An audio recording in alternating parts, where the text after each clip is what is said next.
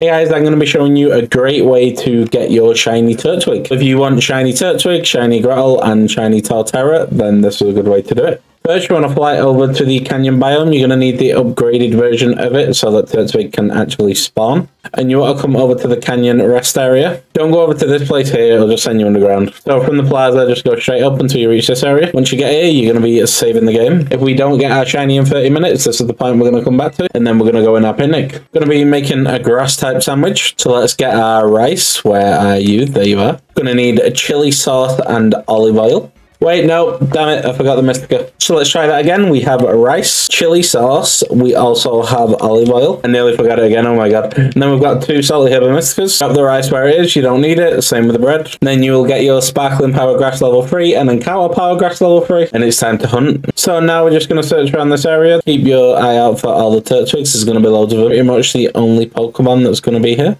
but they are quite small, so you need to keep a close eye out because they are on grass and the uh, same color. I'm gonna put a picture of shiny Turtwig on screen right now. Shiny Turtwig will be on the right. It's gonna be like kind of a more vibrant version of itself in the actual skin color. You'll recognize it when you see it. Hope you found this video helpful, and I'll catch you on the next one.